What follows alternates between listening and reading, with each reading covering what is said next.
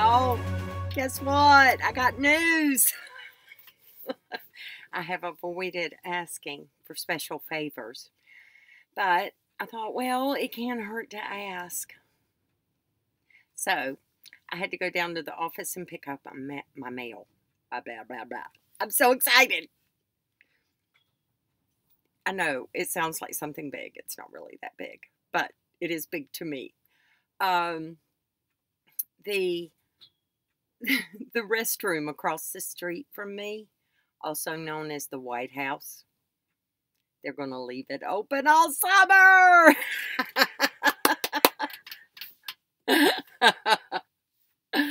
Rumor was that it was going to close. I was told it was going to close for the summer, April 30th until October, which meant a lot of different things.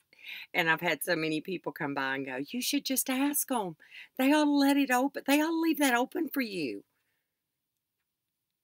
And they already had planned on it. So I feel so special. So, all my company coming, we got our own personal restroom right across the street. Life is good. I love y'all.